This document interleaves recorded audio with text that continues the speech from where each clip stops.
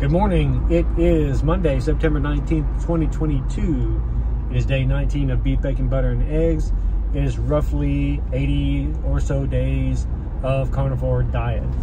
Um, had a great weekend. Um, my wife and I went to Huntsville, Alabama on Friday, and we went down to see a minor league baseball game down there. Had a great time, such a great time. Um, Saturday, woke up whenever we woke up, showered up, left the hotel, and did a bunch of running around, and then came home.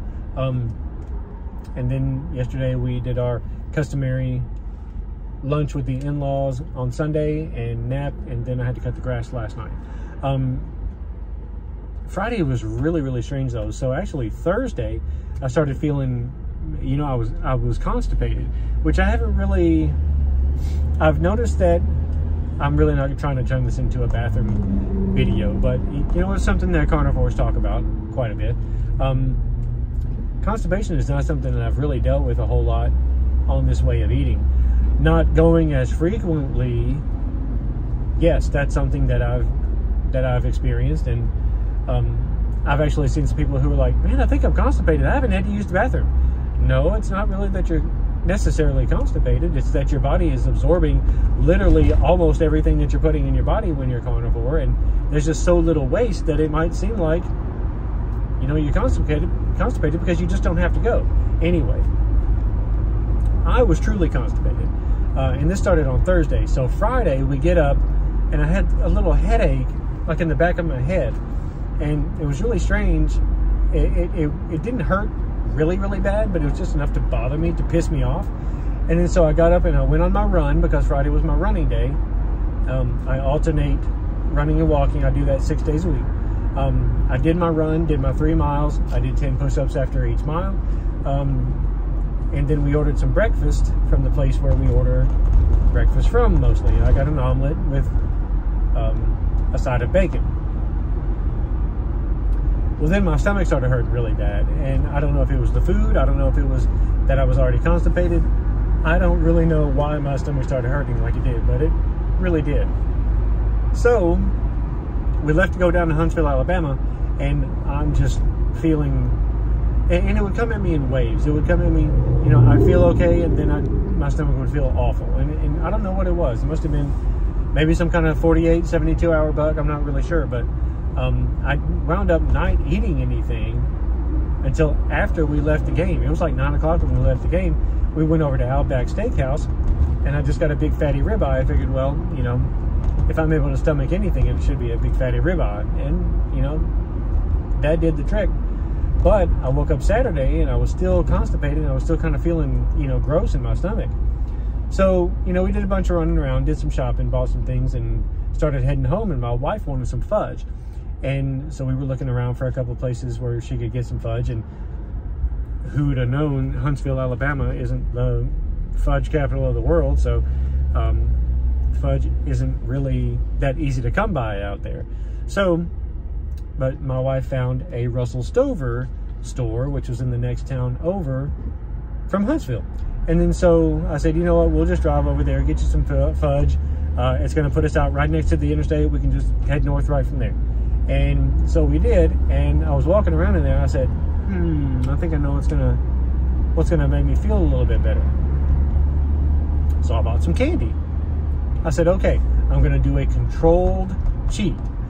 And what I did was I bought a dark chocolate sea salt and caramel bar, sugar free, flavored with stevia, and then also some uh, a couple of little peanut butter cups that were uh, also flavored with stevia. I said, if this doesn't get anything moving down low, nothing's going to.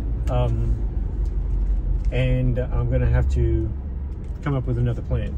Uh, well, you know, I ate those things, and sure enough, within the hour, it did have things moving, uh, and it had things moving for the rest of the day.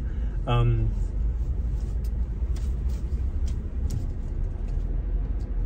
I don't, I'm not really proud of the fact that I had to do that in order to get that result, but uh, I'm am glad that I did it.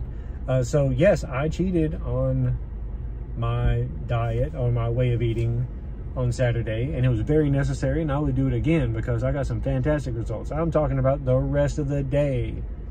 I was going to the bathroom. Um, so it cleared me out pretty good there. Um, and then, you know, Sunday we go and have lunch with the in-laws, big fatty ribeye for dinner, and everything's back on track. Uh, so, uh, in all honesty, I'm still feeling a little gross. Um, I'm sure that's probably just residual from the candy bar, but um, I do feel a lot better than what I did, and I really needed to use the bathroom there.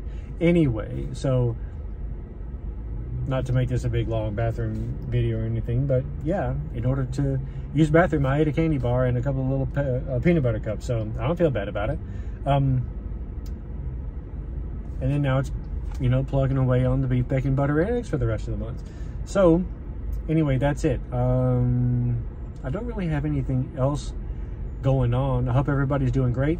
Um, I'm still doing my element electrolytes once a day, and I think I'm really starting to feel um, a noticeable difference just from those little bit of added electrolytes, getting a little bit more energy. Um, so uh, it's, I, I, think I'm on a pretty nice little groove here. Um, I've got a kind of a weird week at work coming up. I've got a couple of meetings in the mornings on Tuesday and Wednesday that I have to be there early for. I may not be able to do my running in the mornings, so I'll have to do it in the afternoons, which is going to suck because summer decided to come back this week and today's going to be 92, tomorrow's going to be 95, and then Wednesday is going to be 97. So I'm not sure exactly what the hell's going on with that. I'm not down with it though. Um, so if I do my exercises in the afternoons, it's gonna it's gonna be pretty warm out there. Uh, but you know, I've got to do it. I'm not gonna make any excuses as to why I can't. Um, anyway, so I just pulled up at Publix. Uh, I'm gonna grab a steak that I'm gonna make on the grill at lunch, and then uh, it's gonna be a fantastic Monday. So hope everybody had a good weekend. Um, we'll catch you later.